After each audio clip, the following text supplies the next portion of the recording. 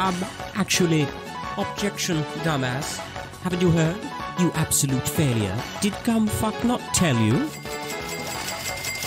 Your garbage excuse of a hypothesis, I'll shove my entire cravat up your ass because it's fucking wrong. Why? Well, you little bitch. If you could take a look at this motherfucking up.